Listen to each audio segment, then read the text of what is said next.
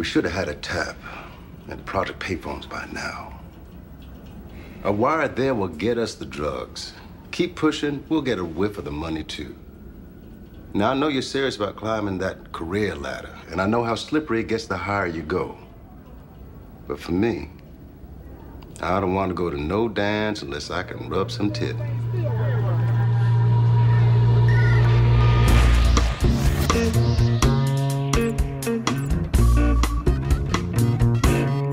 Alex Cottrell and Toby Huntingford present Caught on the Wire. This podcast is an episode by episode analysis of HBO's widely acclaimed TV series about the city of Baltimore, its people, and its many problems. Find more information about the show and all the episodes online at caughtonthewire.wordpress.com.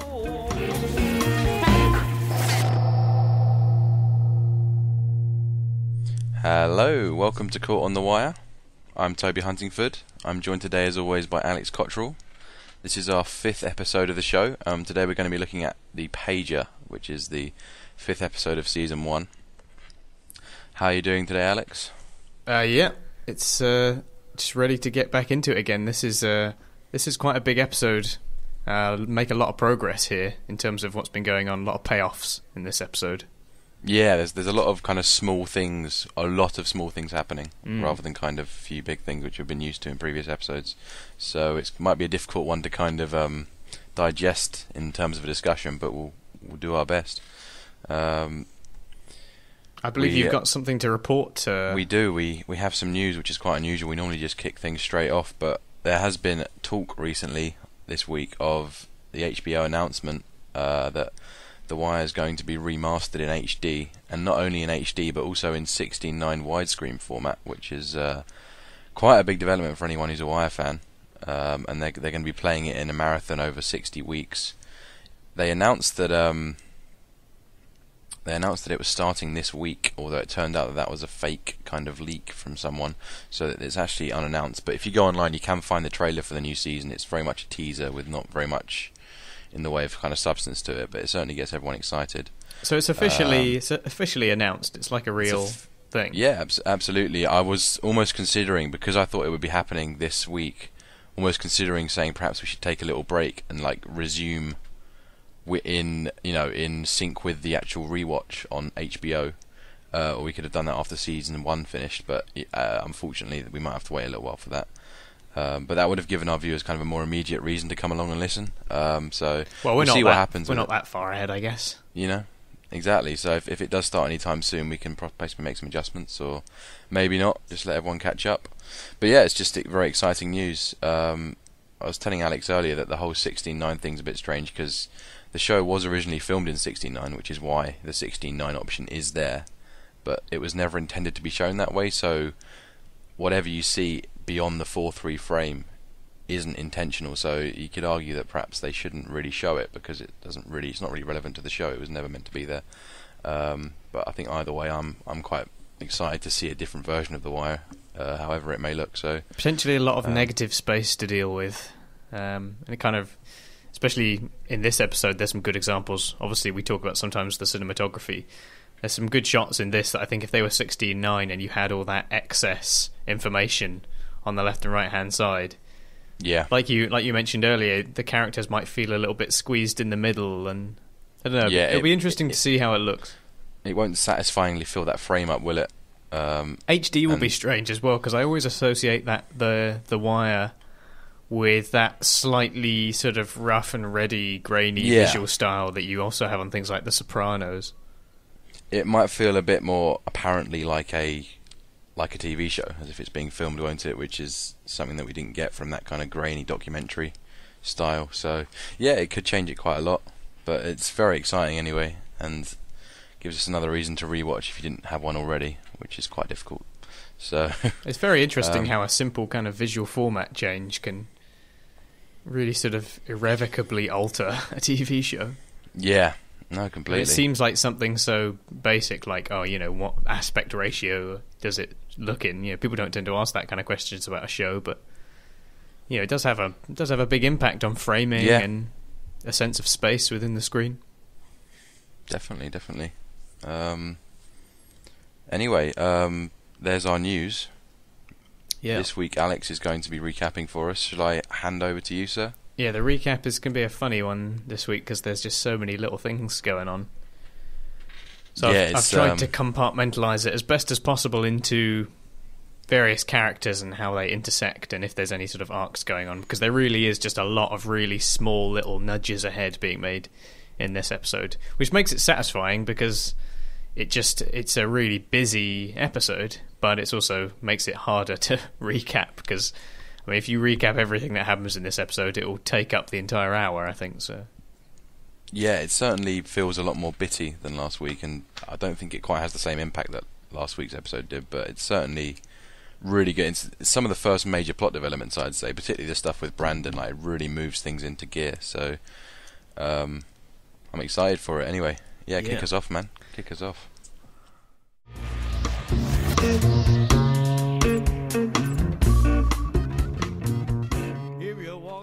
So here we are, episode five, the pager.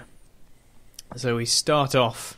Well, our opening scene, uh, the very opening scene I will talk about in a bit, but we'll start off with uh, Judge Phelan approving the affidavit to clone D'Angelo's pager, and uh, once they have the equipment online, in order to follow this, they learn that the dealers are sending phone numbers via pager uh, but they must be masked by code, as none of the numbers that they use as they come through actually work. Um, in a thus far uncharacteristic show of usefulness, the code is actually cracked by Pryzbylewski, Roland Pryzbylewski, who has been a bit of a hump thus far.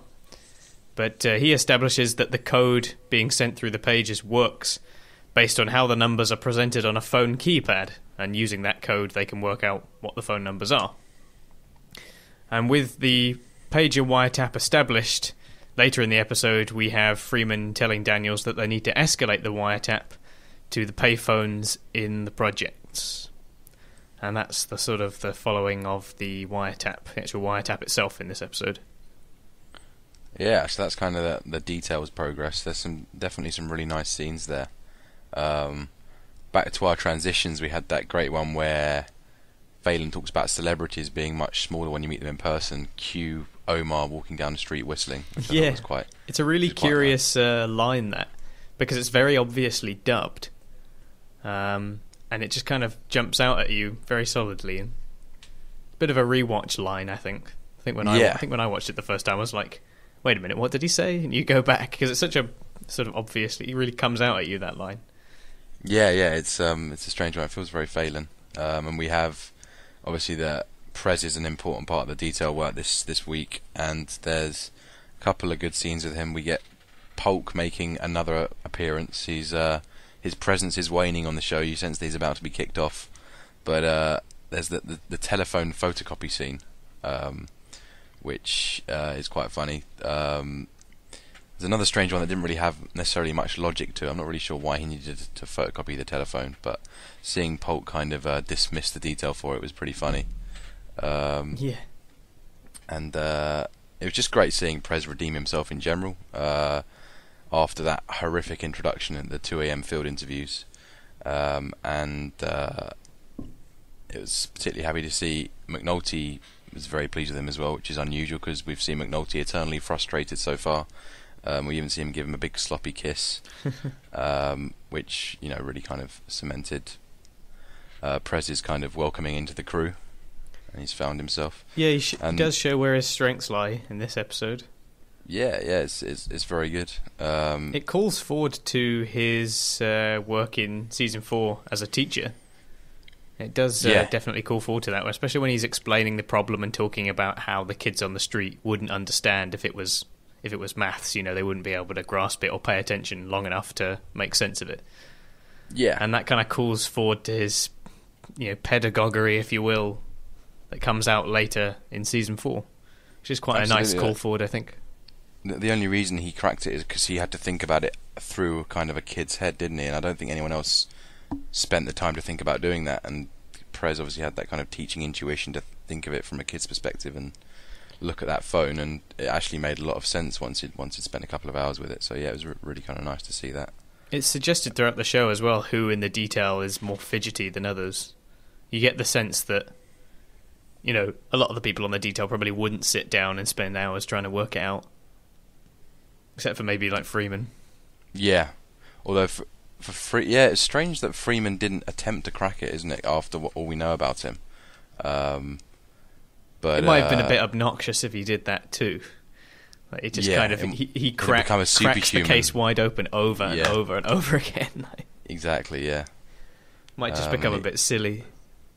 I guess he was looking for patterns or something like that, wasn't he? He was he, he was the he's kind of the monitor wiretap man, so he was after the patterns rather than the actual content of the numbers. And little did they know that behind the scenes, Prez was brewing up the solution. So it was, it was really nicely done. Well, Lester Prez- is barely in this episode. No, that, that is true. He does have his, his one kind of rub some tit scene at the end, but yeah, uh, that's that's about it. yeah, I mean, I, I quite enjoyed that scene, which kind of ends the whole wiretap strand for this episode. Um, I think it kind of really justifies Freamon's character through and through the show, um, and it shows that from the start he was all about the police work, um, and the career was kind of a second thought for him. And for me, when, when I was rewatching, that was kind of my way of rationalizing what he did in season five. Because I think that's one of the biggest problems people have with the show is that Freamon's character is just kind of wildly out in season five, and I, I still think there are things about him earlier that kind of set him up for that, and this is a big scene I think that really defines that for him. So when he says to Daniels, you know, I, I'm not going to go to any dance unless I can rub some tit, and I get it that you know you're, you're playing with the devil up there on the career ladder, but that's the way I see it. So I thought that was just a nice way of connecting things, perhaps in a more tenuous way than some. But um, Speaking of season five, I think that uh, one of the complaints that are levied, uh, that are um, you know shown at season five, are about how fast things move. Things feel a bit rushed along in season five because there's less episodes, and they do cover a lot of sort of somewhat controversial ground. As in, developments seem to happen pretty quickly, especially in terms of McNulty and him, you know, faking Yeah. these murders and you know learning how to fake a strangulation murder extremely quickly. But yeah, definitely. we kind of have that in this episode as well, where the code is sort of discovered and cracked in the same episode. Um, Yeah. And I think no one ever kind of really complains about that. And I think it is why, and this will obviously happen once we eventually reach season five, which is a long way, feels a very long way off. Um, that I think season five deserves to be defended because there are plenty of examples in other seasons, such as this, where problems can be quickly moved past, but it doesn't necessarily become a problem for the episode or the season as a whole. Yeah, it's weird because the rushing for season five very much feels like a product of its kind of squeezed ten episode time frame, Yeah. um, rather than because they intended to write it that way. But uh, yeah, I it's, it's, it's definitely a fair point. Uh, I, I I'm guess, getting my defense of season five in early because I really like season five, and a lot of Yeah, people who I- watch The Wire don't like it. we we've discussed this at length that season five is possibly. I mean, for me, I think it's my second favorite after four. Um, and that a lot That of the bold. complaints. You reckon? Yeah, that is, that is so? quite bold. Well, there you go. Season five for me was a lot of fun, and I think the complaints levied at it are not quite justified. But that's obviously a chat for another day. Um, Yeah. so we're we're still, uh, I guess, on the strand of the wiretap here. Have you got any other any other points that you'd like to make about those scenes? Um, a couple of things related to the wiretap, but uh, or that'll come later. They're related to other things, best suited for another part of the episode so far. Okay, cool. So Should we Should move on to the next one? just press on, yeah. Okay, so the next strand is with Omar and his crew predominantly. So after Omar, uh, John Bailey and Brandon tr- uh, plan and then obviously later trap and rob some dealers uh, on an east side corner. Bubbles then supposedly spots and recognizes Omar's van and leads Greggs and McNulty towards it, where they're going to try and catch Omar with a gun and get him to become an informant. Um, later, Kima and Jimmy follow the van into the cemetery, where an unarmed Omar refuses to snitch. Uh, McNulty informs Omar that Joan, John Bailey was killed earlier on, and Omar then reveals, in not quite as many words, that Bird was the one that killed Gant in the first episode, or it didn't happen. Uh, yeah, it did happen in the first episode. Sorry. Yeah. And um, that he also knows that Bubbles is their CI. So that's kind of what happens with Omar and his crew in this episode. Much shortened version. Yeah, it's um, again just adding more to the lack of convention with Omar uh, from what we saw last time. so we have that, that strange scene where he voices opposition to cursing. Um, I think in Brandon's last scene, um, and we have the uh, just oddly both. I mean Bailey. I remember what the first couple of times I watched the show. They chat about Bailey a lot in this episode, and they haven't spent much time really defining who he is. Um, and he is obviously that third member of the crew. But it did take me a few watches to really understand that, and because Bailey Bailey's death occurs off screen, it's kind of a bit of a curveball. It's very um, disconnected, isn't it? Because the the show also put places a lot of emphasis on it later on, when obviously Poot and Wallace spot Brandon, and they kind of talk, they show the communications coming through to the wiretap. It kind of looks at that in refer- in relation to you know, yeah. if they'd had it up earlier yeah. or whatever, they could have caught the Bailey communications as well. And it kind of places a lot of emphasis on how important it was. But like you say, we don't really know this character, and we never actually see him get killed. And exactly, yeah, it was difficult. I mean, it, it raises a, a, really good point. I think at this point, like now that we've got major plot developments kicking off. We realize here that like so many important scenes are off screen, and we learn that the Wire's kind of therefore preoccupied with like mechanics and theories rather than like the plot and the character development. So um, I think it's process. theming above all yeah. else, isn't it? Theming so and symbolism like, are king in The Wire. Yeah, so it's like the process is king. It's uh, it's there's nothing visual spectacles. They're not interested in it. They're interested in the process of what's happening. Um, and this includes a few things in this episode. So that's stuff like Stinkum's fresh territory, um, Brandon's death, perhaps most hev- evidently because it's conveyed through the through the DNR recorders rather than through the event itself, which you know shows how what we really care about is what the technology picks up, not what's actually happening at the other end of the phone line, sort of thing. Um, and you know, it's we just we just have to kind of discern these things through the through the process. So it just kind of shows up what the wire is really concerned about showing us, and it, it kind of becomes a lot more clear in this episode, I think. Um, so bringing us uh, bringing us back to Omar. Yeah, I think we learn a lot more about his, uh, you know, his very moral character. He's got his codes that he lives by. You mentioned already him chastising Brandon for swearing, which yeah. seems somewhat in contrast to the uh, scene in the last episode where it was just you know the word "fuck" for about ten minutes. Yeah. Seems like an interesting yeah. contrast, doesn't it? Like, yeah, no, he he is the only character who doesn't swear, as far as I'm aware, in the whole show. Although he does let a few s words fly, I think. Although some a lot of fans have tried to claim that that's him mocking other characters, so it's justified. But yeah, it is. Uh, it's it's very um, unusual and just again, very Omar, who is everything but convention through and through. Yeah, so. and dislikes snitching as well, which we learn in the uh, we learn in the cemetery. Yeah, although he, you get the sense that he kind of loves it underneath with all the snitching that he eventually ends up doing. Yeah, he's but, not um, exactly um, innocent in yeah, regards to that. Especially seeing as almost straight away he reveals something. Exactly, like he reveals Birds the shooter. Like you couldn't really have gone bigger than that. I don't like snitching, but here's some information that you wouldn't yeah. have been able to get hold of otherwise. But if if he didn't like snitching, that would be a conventional character trait. So they had to kind of make him a snitch so that he did def- continue to defy that convention. So it it kind of works well with him. Yeah. Um, but yeah, I mean that that scene with uh, Melty and Greggs, I think it was trying to be you know a big kind of monument scene. Um, there wasn't too much I could say about it really.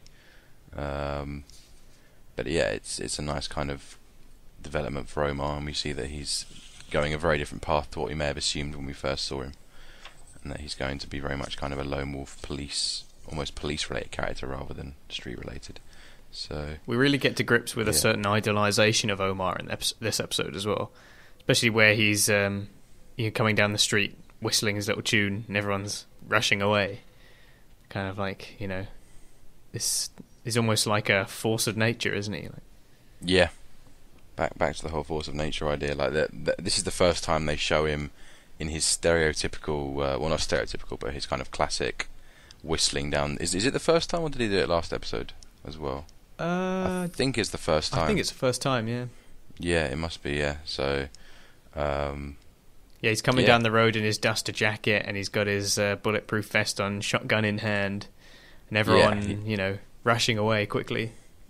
He's certainly you know grown into himself quickly. He that uh, that old character that no one knew about, you know, that's just arrived on the street is suddenly this this whistling Western madman. Uh, you Yeah. know, it's qu- quite a quick transition. And everyone knows who he you is say so? immediately. Yeah.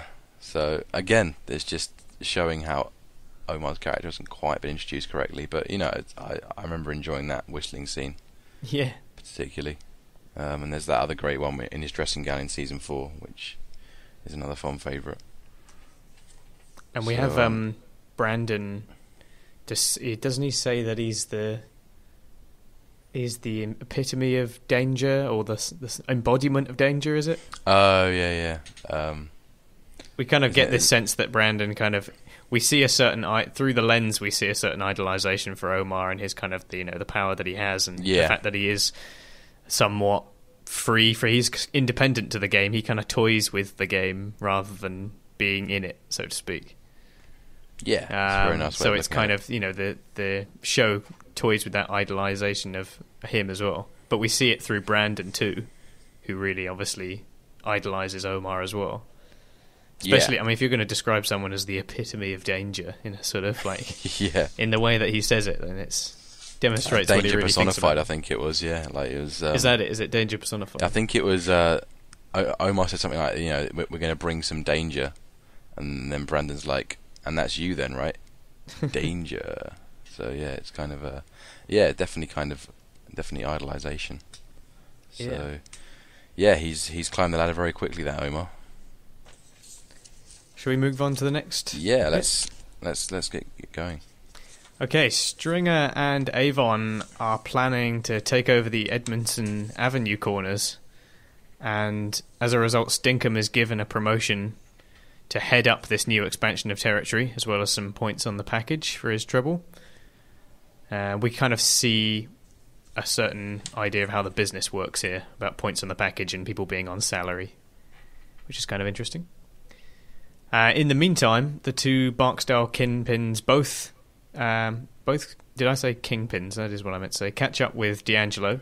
Uh, Avon and D'Angelo visit Avon's brother, who is uh, in a coma in a care home, and Stringer visits D'Angelo to tell him that there might be a snitch in the uh, crew somewhere, and that he should withhold people's pay to reveal who might have some extra income based on who asks for money and who doesn't. And later on, D'Angelo learns about Stinkum's promotion whilst talking to Orlando in the club. So yeah, through that um, train of train of events, we kind of see what happens with Stringer and Avon and how they both interact with D'Angelo in this episode. Yeah, it's uh, a good strand. Uh, we'll start with that that territory scene with um, is it Scar or the, they're going to take territory off Scar? Yeah, who's that's this right. elusive character who we've never met. Um, We kind of see him at the end, don't we? do we see Sky during Stringer's phone call? Maybe we see. yeah, they they point him out just before um, they're about to get the call about Brandon in the arcade.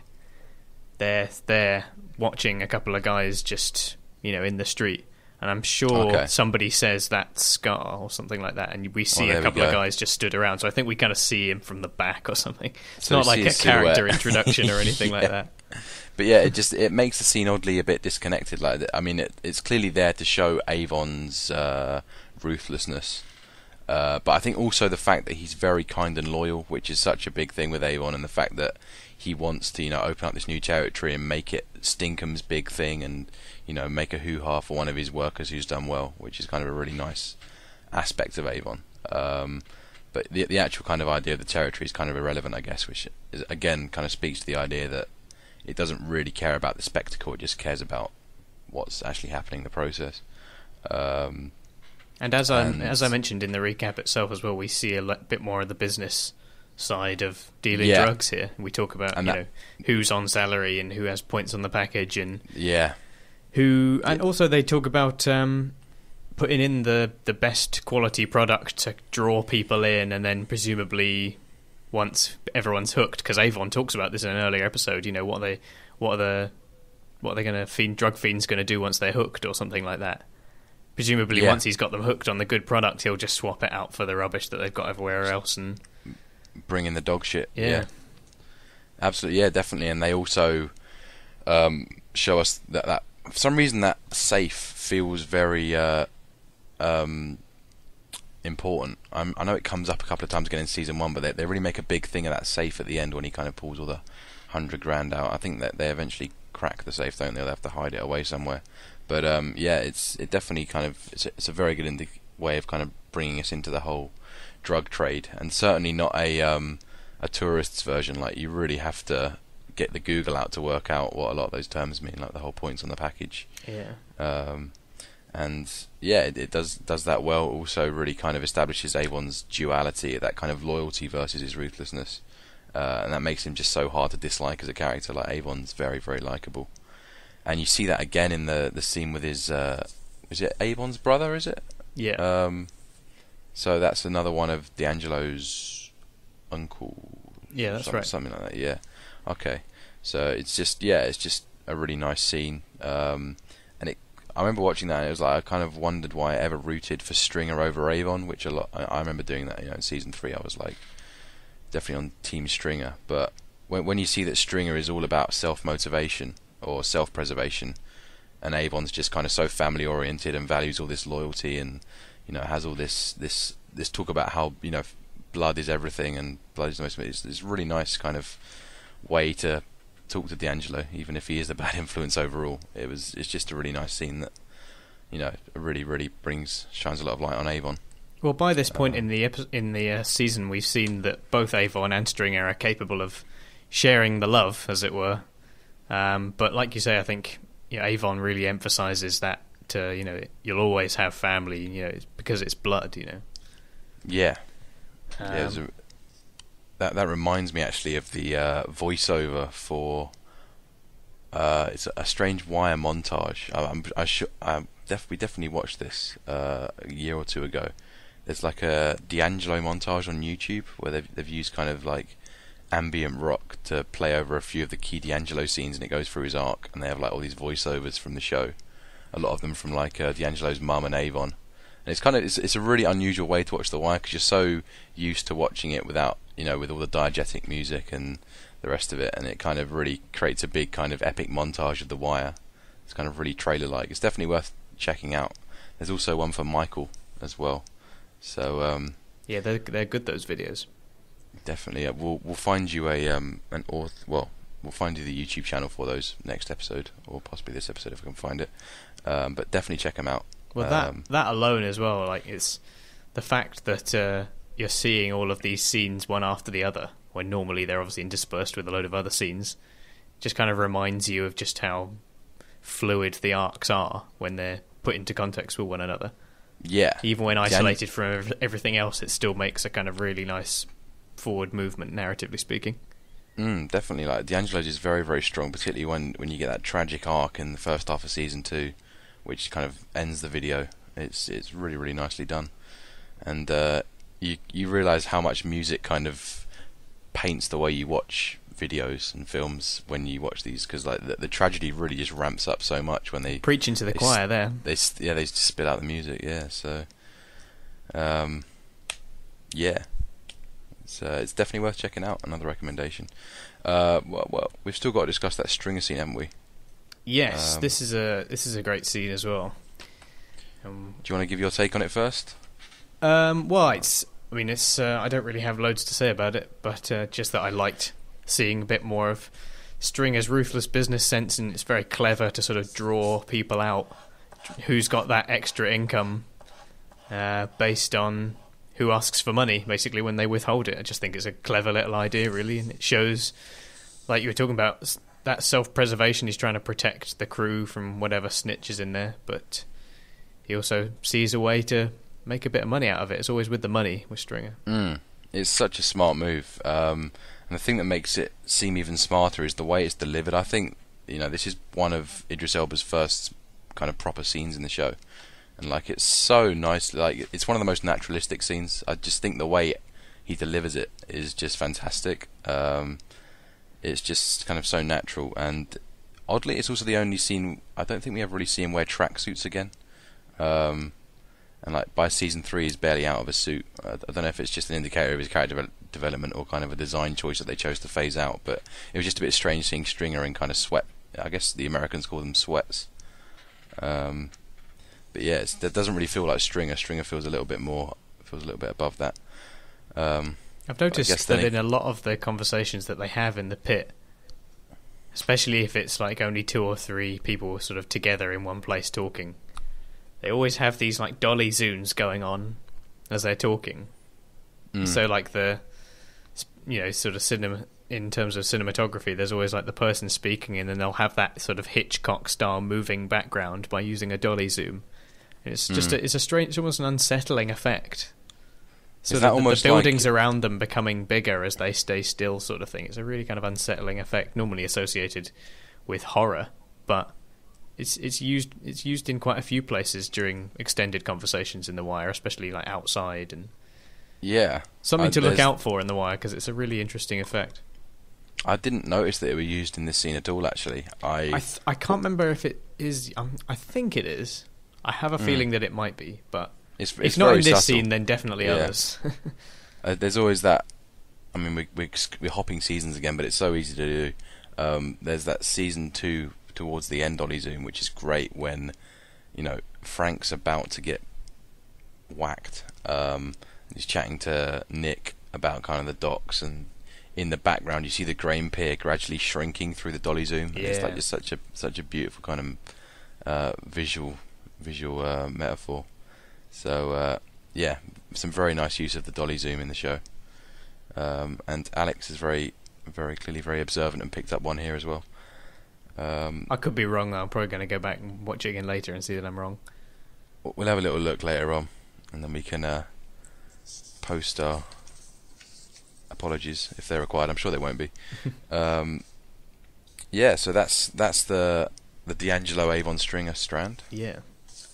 Let's uh, move on then to the other people in the pit. So Bodie, Poot, and Wallace. So Bodie uh, starts off with pissing off D'Angelo when he throws a bottle against the wall near a distracted Wallace who is playing with a toy when he should be working. And the two have a little bit of a confrontation before they're interrupted. Uh, staying with Bodie, he's uh, later on caught by and Carver for escaping the juvenile detention centre. Uh, and but any attempts to try and make a deal with him end up failing in the interrogation room, which some has some rather violent consequences. But uh, later on, this seems all cleared up when they play a bit of pool together, whilst waiting for Bodie to be processed through uh, the what's it called, juvenile something or other. I've forgot. Juvenile intake, I think, intake, isn't it? Something it, like yeah. that. Yeah. Um, and they missed the eight o'clock, or, and had to wait like four hours for the next one or something. Yeah, but they have, they have a nice um, game of nice game of pool and a sandwich. Yeah, which is yeah, all definitely. very civil. Very civilized.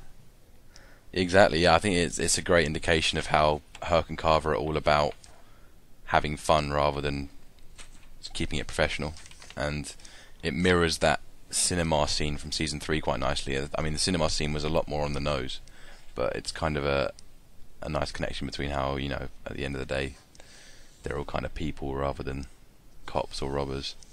Um, and Herc and Carver I don't really care for which one they are. They kind of care about having fun. So. And it's funny to see the good cop bad cop thing kind of get reversed, and you know, you yeah. actually says you're supposed to be the good cop. Like that was a, a, very dark bit of comedy there, but you have to laugh like it was. It was funny, um, and the, the, way Bodie played played um, Carver for a good couple of minutes before. Like they underestimate him clearly. Yeah, exactly. Like, it's just very, very admirable from Bodie's perspective. You think they treat and, him with a little more respect, seeing as he managed to escape the actual detention centre itself. I mean, it was pretty easy, as we saw, but they don't know that. Yeah, yeah, no, it's true. I mean, it's again Herc just being an idiot. I mean, I forgot to mention last week actually. There's that scene with Herc visiting Bodie's grandma, which is kind of the only time he's perhaps ever likable in the show. Um, and he kind of settles down and apologizes and uh, hands out his card. It's, it's it's a very unusual kind of move for Herc. Quite a touching Um, scene. Yeah, we, we never really see it again. I mean, it could just it probably is just another another tactic for drawing Bodie in, but it certainly shows that Herc thinks outside the box on at least one occasion in the show. So, um, but yeah, just just something that I forgot to mention last week and was kind of annoyed that I forgot to mention it. So I thought I'd try and squeeze it in where I could here. um, so I hope it wasn't too much of a shoehorn. But um, yeah, where So- were we? We were Poot and Wallace spend a bit of uh, time together in this episode as well. Um, they are hit rather hard by the withholding of money by D'Angelo following Stringer's orders. Um, and they ask D'Angelo for an advance, or rather, Wallace asks for D'Angelo for an advance, whilst Poot stands nearby looking a little bit sorry for himself. Um, Yes. Thus, kind of proving that they're obviously very loyal and that they're they're not the snitches and they don't have any other income other than what they're doing for the Barksdale organisation. Mm. Although, if you, you'll notice that that scene is the start of that scene is uh, focused on Sterling. Is it Sterling and Cass who are the other kind of two minor members of the crew in the pit, and they're looking very shifty and kind of sitting down and moping away somewhere. And it's clear that there's it's not clear what's happened, but it's clear that there's been some sort of thieving going down. Um, Yeah, right. which is definitely worth checking out. I think it was it's very subtly done, but because we we do eventually learn that I think it's the girl Cass who does does steal from the pot. Um, Avon, breaks all her eggs for it. I was also that- ju- I was also just going to add that uh, obviously with Poot and Wallace, later on we see them at the arcade where they identify Brandon and call in to let their superiors know. And uh, later on we see the information of these communications being logged in at the detail office, which kind of ties in with the wiretap having been set up. Yes. I think Yeah, um, there's a parallel trying to be played between uh, Poot and Wallace in this episode where um, Poot seems to be a bit of in a hurry to be an adult, you know, he's very obsessed with sex and, you know, staring at the women going by and everything. He's kind of in a hurry to sort of have things adult style as he wants them.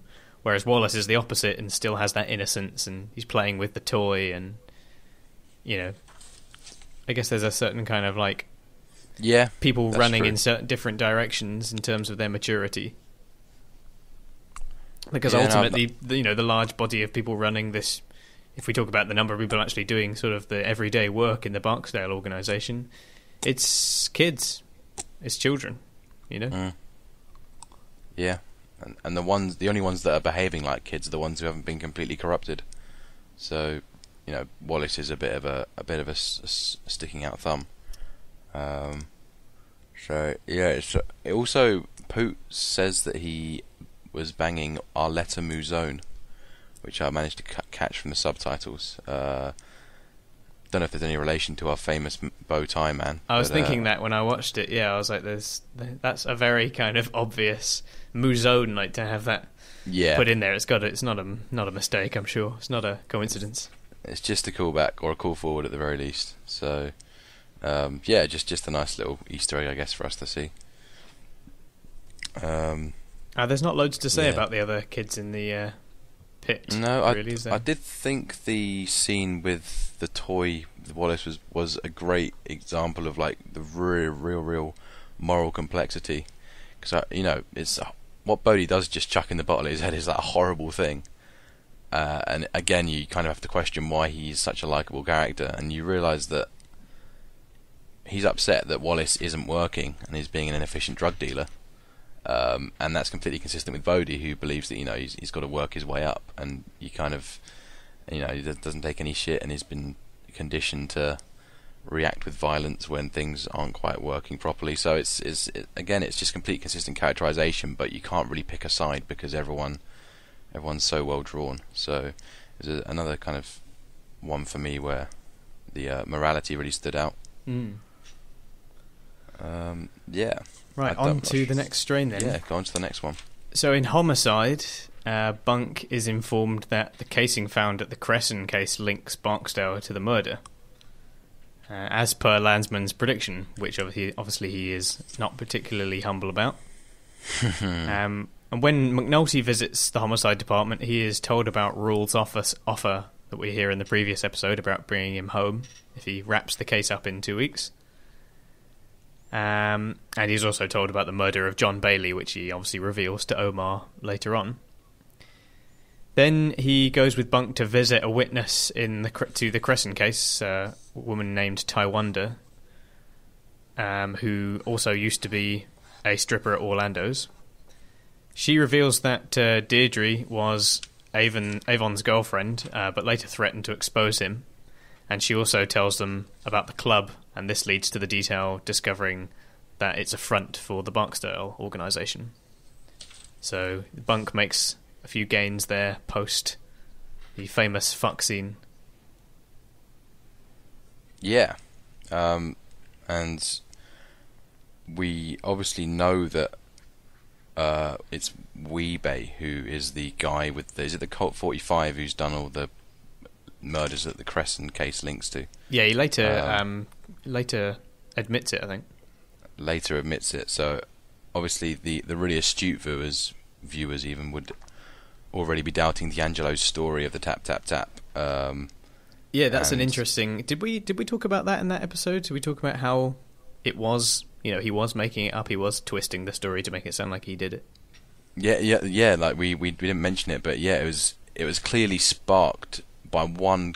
I think by one statement that Bodie makes, where he talks about um, if it was if it was you in that juvenile facility, you'd still be there, and like he saw that as a real challenge of his authority, and had to kind of fabricate this story that he was uh, he was with Wee-Bey when Wee-Bey did the shooting, but he pretended he was Wee-Bey.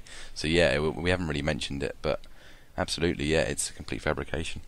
It shows that so. the sh- the wire is quite happy to you know through its voyeuristic style. It shows the lies as well, so the audience can be tricked as the characters can, like we see in the interrogation scene with Bunk and uh, McNulty, where they obviously trying to make D'Angelo feel sorry, so they make up all that stuff about the witness. And again, with D'Angelo telling that story about the murder, which he didn't actually do, you know, we are fooled as an audience as well. It's a kind of interesting mechanic that we see in the show quite a few times. Yeah, yeah, definitely.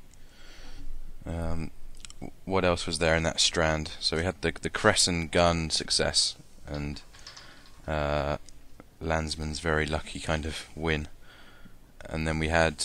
And then they uh, go to uh, visit Tywanda. That's right, and she's one of the one of the victims' friends or something like that, isn't she? Um, and that cracks them open with Orlando's club, um, which is a nice development for them. And so. we also kick-start off Freamon's interest in following the money. This kind of starts off really because now that we're dealing with assets in relation to the Barksdale organisation, if they really want to bring it down and really find out, you know, what is making these big drug organisations happen, need to start yeah. following the money, as Lester says in a later episode. Yeah, and the the idea that they're now kind of gathering these these lists of assets, they they are kind of making headway into that finance, aren't they? Yeah. So this is kind of the start of that. Everything's coming together. Yeah. This episode. Definitely. A lot of lot of payoff in this episode because just speaking about the episode generally, we see in the first few episodes that there's just a lot of struggle for the for the uh, people in the police organization and they're dealing with the bureaucracy and everything. But right at the start of episode where we see Judge Phelan approving, you know, signing off on the affidavit, the detail makes so much progress in this episode. Like more, yeah. probably more progress in this episode than any of the other episodes combined. Yeah, yeah, definitely. And we know that they're on the cusp of getting their actual wiretap, uh, which is just going to bring them even more um, progress and quicker as well. So yeah, it's just a really satisfying episode from the details perspective.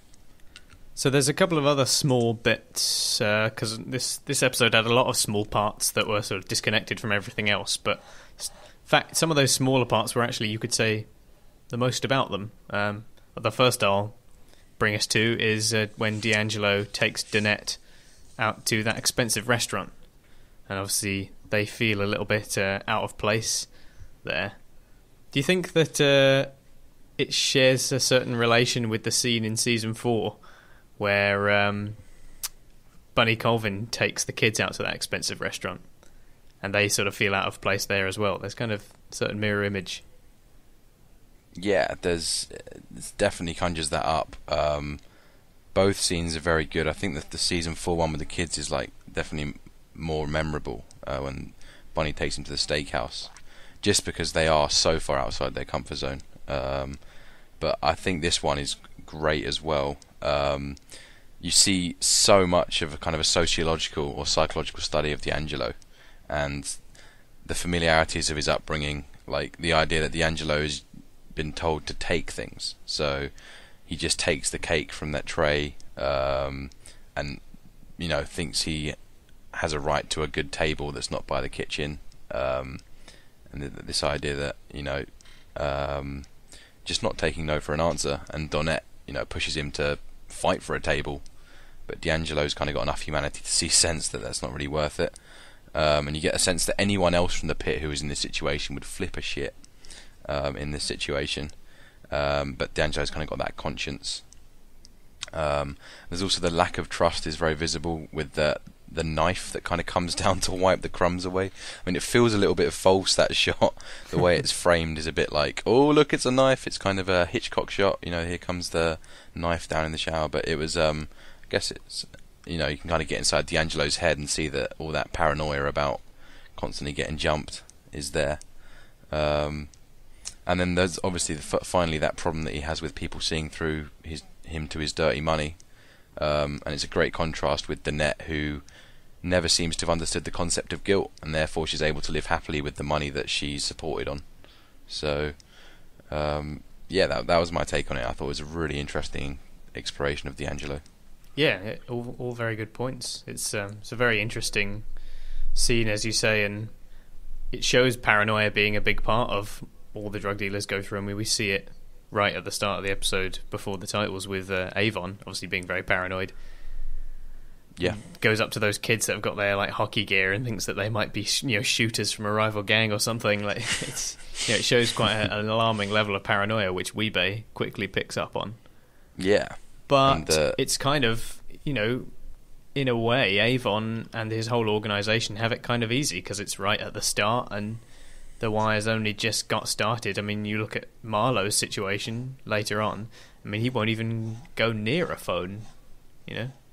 Yeah, and that is true. Will, you know, so it's it's it's a phones just become a, a non-thing, don't they? By yeah. season three, it's just the burners are there, and then beyond that, it's just face-to-face meets. Like it, it really does, it really does evolve as a criminal trade. Like all the adjustments they have to make. Yeah, yeah. So. Relative to the rest of the uh, show, it's quite a, you know, cushy situation for Avon, but still, he has quite good reasons to be. Uh, you know, I think his paranoia is somewhat justified, given that yeah. the amount of gains that are made and uh, all the things that are happening around him.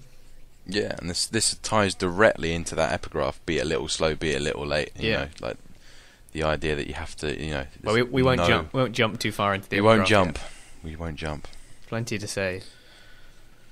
Uh, the other small bit that I was there's a well there's a couple of others. The other small bit was um, McNulty's relationship with his ex-wife, and uh, there's quite a funny scene between him and Greggs where, in the, where they're in the car.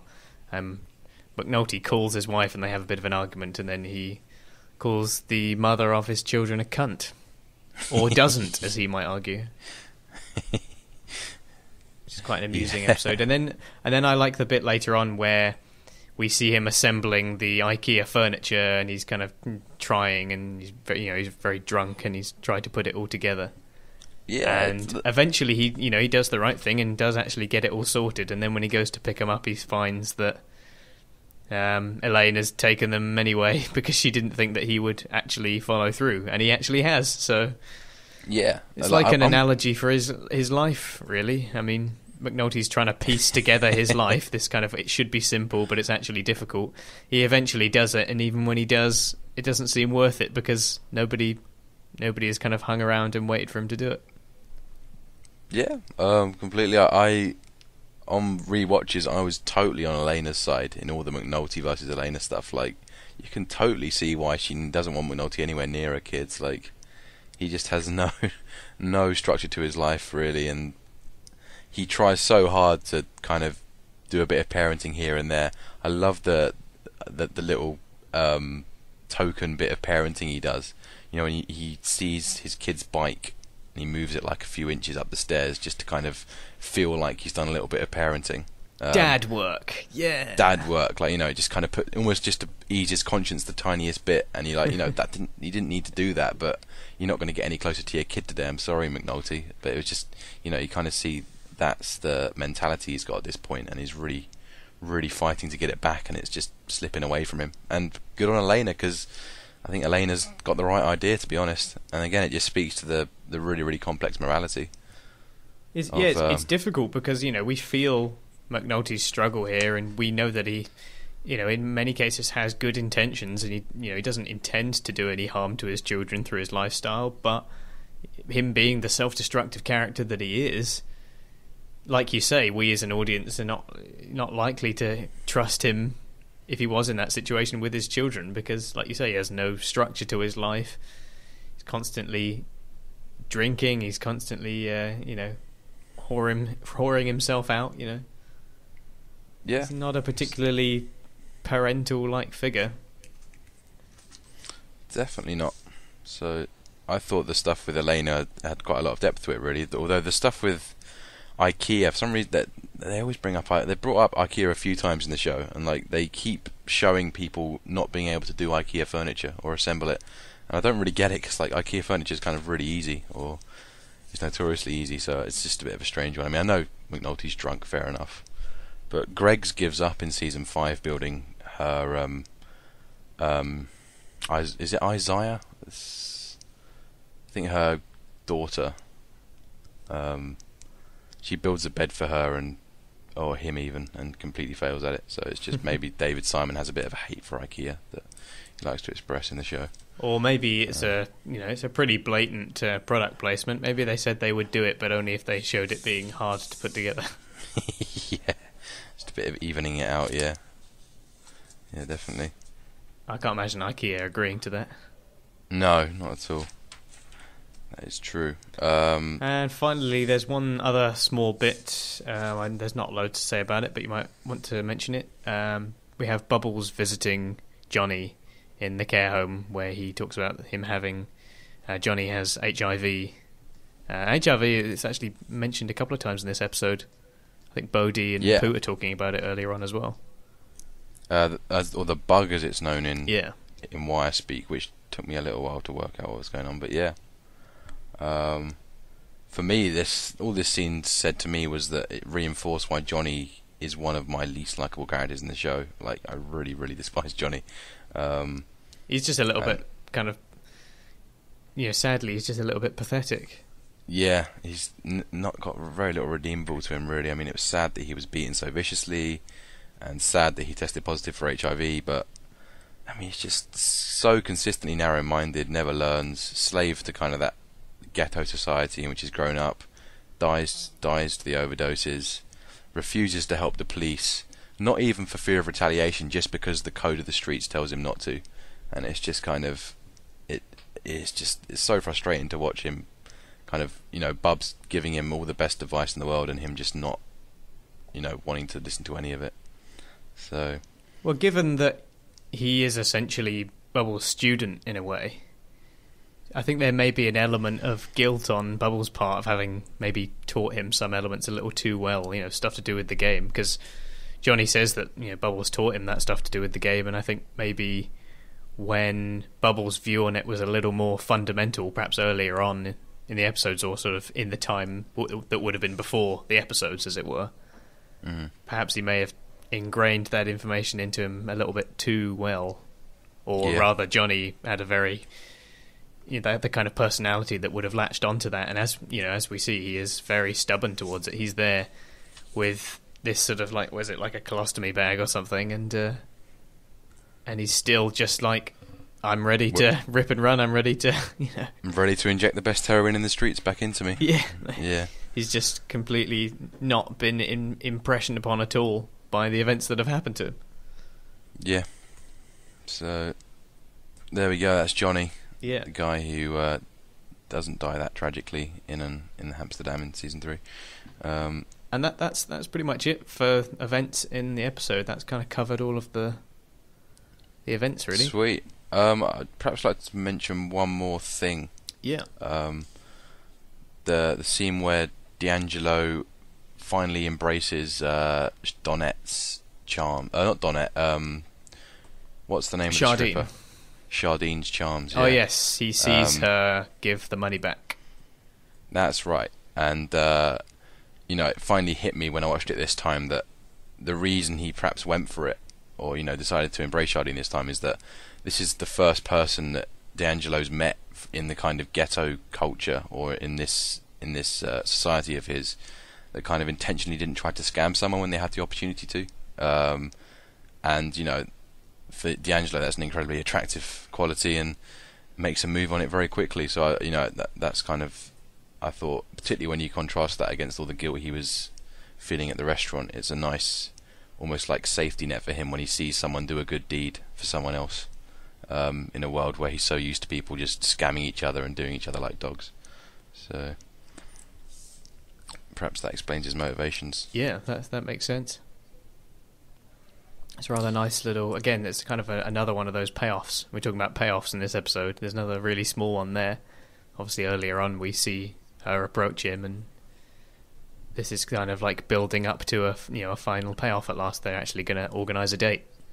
Yeah, yeah, absolutely. It also Uh, says something about D'Angelo's idea on loyalty. I mean, he has, you know, he is loyal to the uh, crew and whatnot because of his uncle and everything, but he's not above questioning their ideals or their morals and whatnot. And again, in relation to loyalty, we see that he can't be all that loyal to Donette if he's willing to just go on a date with another woman because she does something morally agreeable.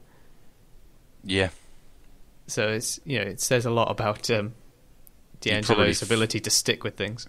Yeah, I mean, he probably feels very trapped by Donette as well, just because she's such a an arbiter of that lifestyle that he kind of wants to leave so desperately. So, yeah. Yeah, I it's guess nice it's more like, I mean, yeah, he's uh, like you say, it's because of that gesture of her not scamming someone when she had the chance. But it maybe it's also that there's a sense that everyone else is content with their position to do with the organisation. You know, particularly Donette, like she's got everything that she wants. She doesn't care. She says herself, "You've got the money, so you can be whoever you want to be." Mm. Um, but we see that Shardene doesn't necessarily feel that way. It's not about necessarily the money. She's got other ideals and probably wants to get out of doing that job at the earliest opportunity. And as we kind of later find out, the same is true for D'Angelo. Yeah. Match made in heaven. So there's kind of kindred spirit thing going on there. Fortunately, it's just not to be. No. So, I've even though I know we've said about the spoilers, I just can't bring myself to say it. just because Yeah. it's such a tragic. it scene of is events. horrible. I don't know why I'm laughing, but yeah, I mean, it's it's a very very graphic moment that's kind of cuts very deep. Um, so, t- shall I just close out? But we, we kind of talk a little bit about the th- what I thought the theme was. So, if we have, you kind of have with the access to the pages, um, the police are now kind of beginning to understand what they're up against, and the theme so far has really been about how the police don't understand or they're always two steps behind, or they're always incompetent, and we're now starting to see them kind of challenge that. And the smarter police characters are beginning to re-examine the assumed operational high ground upon which they operated. So we see Greggs first ask the question of how complex the code can be if the knuckleheads are using it, um, but quickly see her examine it from the other side of the coin. What does it say about us if we can't crack it? And you know, everyone in the office is taken aback by the discipline of the code. And I think that was kind of a key kind of key thing that kind of worked through this episode. So that would kind of be my main. It feels message like thing. they have a lot more freedom to do their jobs and do what they're good at, and and that as a, that as a result, kind of they are rewarded for that. They are rewarded for their in, uh, initiative. Yeah, And it's funny that It's that should for be the case, especially when you consider Mhm. that in this episode we see nothing of Thin the heaven police upper echelons. We don't see Burrell, we don't see Rawls, we don't see Forrester, we don't see any of those people. oh, that's very true. they actually, feel yeah. they're completely detached from the episode, and as a result, you know, the result seems to be both narratively and in terms of how we view the episode the members of the detail detail feel so unrestrained in their actions, and it it rewards them. Yeah. Yeah, there we go. So, um, we have a few concluding sections that we always do. Yeah. So, do you want to Um, start with um, favorite scenes? Yeah. Um, it wasn't as difficult as last week. I think. Ooh, actually, well, it was difficult. I'm torn between two, really. Uh, Stringer and D in the pit early on. Um, when this Stringer displays that kind of incredible skill, uh, incredible management skills, very, very clever way of working out who's who's snitching, even though there's not a snitch. Um, and the way the way he delivers those lines is just so natural. Perhaps the most naturalistic lines I've ever seen in the in the Wire. It just felt like it was right out of the ghetto, um, and you completely sucked in. Um, and you know, Stringer's not in many season one scenes, but when he is there, like the scenes really, really punch and deliver. So for me, I for some reason I just really enjoyed that scene, and also just the restaurant scene as well. I think is very, very, very strong and just very insightful. So those those would be kind of my two. Sorry I couldn't pick one, but Well, yeah, I was gonna go. I was gonna pick two as well. The you already said one of mine. I was gonna do the um, restaurant one as well. Uh, but I'd also gonna throw a bit of love out for a slightly lighter scene in the failed interrogation of Bodie, where Carver is uh, obviously trying to play his good cop routine. And I one thing that I particularly like about that scene is just the the way it's shot when it starts out we see these really like against the wall shots where the majority of the frame is just the wall and Carver Yeah. is like pressed up against the side of the, the shot. It's a really strange shot, and it does the same for Bodie as well. When it kind of cuts between these two, and then when Carver leans forward, the camera leans forward with him, and we get this more intimate view. We feel kind of totally against the wall and sort of splayed out amongst the scene, and then it, we the, the shot becomes intimate with the intimacy of the scene itself as well. And just the fact that it's quite a humorous scene, this kind of ro- role reversal. Carver goes in with the intention of being the good cop, plays all these things, get totally screwed by Bodie, who they underestimate and is a lot, lot more on the ball than they give him credit for, and he ends up beating the crap out of him. So, I think I think that's a great scene, beautifully Yes, shot, uh, wonderfully acted, and it's you know it's nice to have light-hearted scenes like that just to break up some of the seriousness of the the uh, show's themes and uh, objects. Yeah, it's, it's it's a very good choice. I mean, Stark and Carver in general are so great, aren't they? Because they they serve this great kind of humorous purpose in season one, and then they kind of diverge so well later on and become kind of serious characters. One who doesn't develop at all, and one who develops massively. So it's just, I think, yeah, just those characters in general are great, and again, another very another funny scene for him.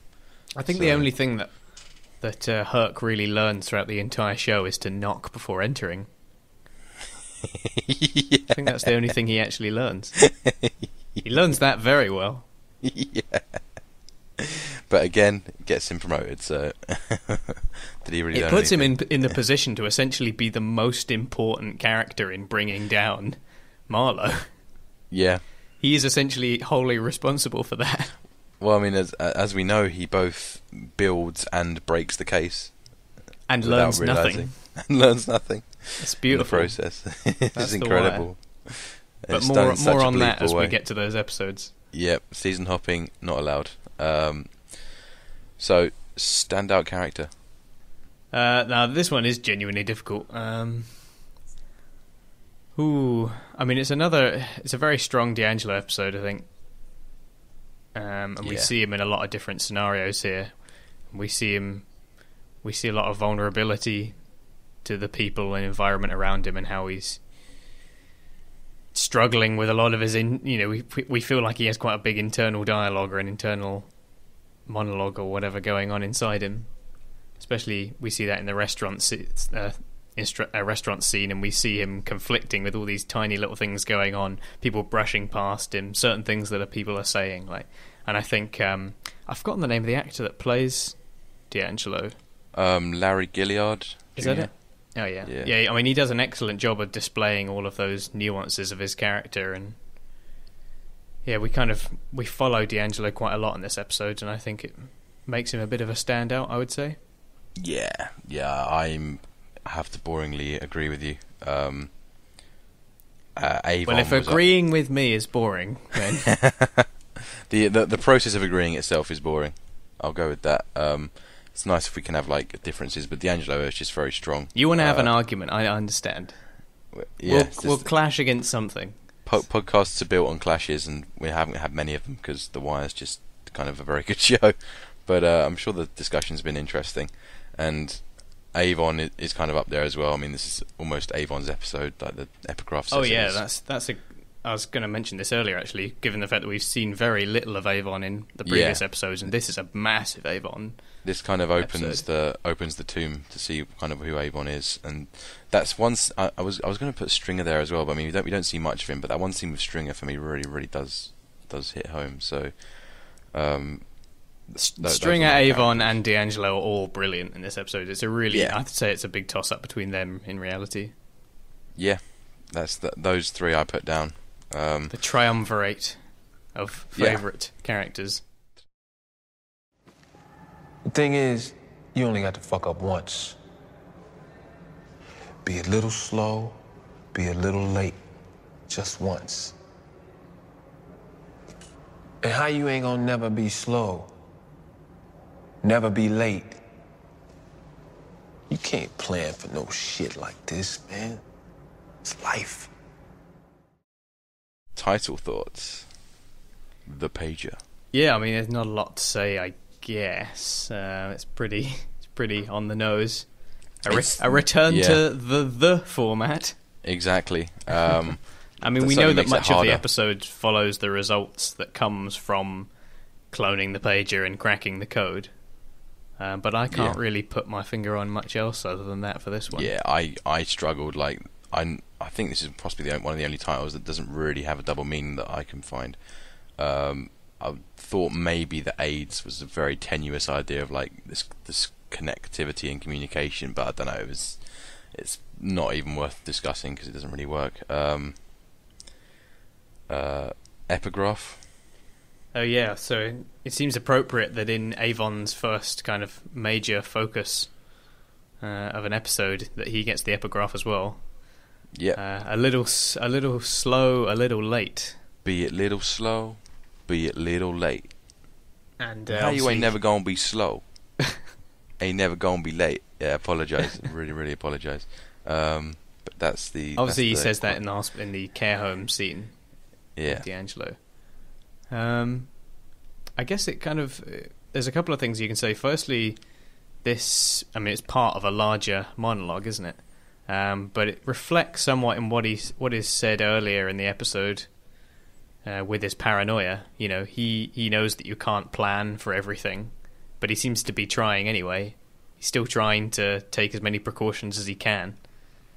Um, and there's that emphasis that everything hinges on these really small moments, these really tiny changes, you know, being a little bit slow or a little bit late. Um, and that's the same is true of all the discoveries that, say, for example, the detail makes in The Wire. It's all these small little things that they hear, Yeah. these tiny little codes that they crack. Somebody says something, somebody reveals something. You know, these everything kind of lives and dies based on these tiny little moments, and yet it seems so massive. It seems so big and scary. You know, he talks about um, his uncle, or, or his brother, rather. It's D'Angelo's uncle, but talks about the brother in the coma scaring him in some way as if it's this big, scary thing when everything really hinges on these tiny little moments. Um, Yeah. uh, yeah, I guess. Oh, yeah, it, it also references, I suppose, the um, the fact that if they got the wire up earlier, Yes. That's that's, that's, what the, I was that's thinking. the big one. Do you want to, do you want to that's say a all- little about that? Yeah, I mean, you, you said it just there. Like you, you, you can't done. I mean, it's uh, it almost feels like once you've seen the episode and look back at the epigraph, it was like ah, like that's what it meant. Like Yeah. we were slow, we were late, and uh, we missed being able to, you know, Freamon picked it up and he knew that the details should have been up on the phones a few hours before those phones are used to commit a murder, and they were kind of slow and late as always. So. Um, and it really hammers that home at the end where we kind of see those communications coming through and we're seeing Yeah. the pager data and we're just thinking you know you have a wire up on those phones and you've you've got it all Yeah, Like there it is. just- That's a conspir- That's a conspiracy murder charge sort of thing. Yeah. something very unsettling about just seeing it and such a stark kind of just beeps, hearing it in terms of beeps, like the, the murder occur, and it's like, oh crap, like, and the credits just roll. It's yeah, it's it's, it's quite, it's just very very frustrating for everyone. Possibly Um, the most, in terms of its relation to the theming of the episode, it's a really, really solid epigraph. Maybe the best so far. Yeah, yeah, it's very good. Um, definitely a lot of subtlety to it, but it has very very strong bearing on what happens. Yeah, definitely. Okay. So yeah, I guess that's uh, episode five. there we go. We're not too far off halfway through season one. So Made uh, made some decent progress already, I'd say. yeah. Um, do you want to do you want to close us out, Alex? Uh, yeah, I guess uh, the only thing left to say is that uh, if you ever want to drop us a message, then you can email us at caughtonthewire at gmail.com.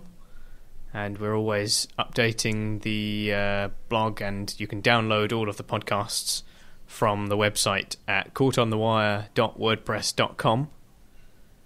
And unless there's anything else you want to add, Toby, before we go? No, no, not at all. It's been good. Yeah, when we will see you uh, next week in the next episode of Caught on the Wire. Until then, enjoy your week. What you know about Baltimore? What you know about Baltimore? Baltimore. What you know about Baltimore? What you know about Baltimore? Baltimore.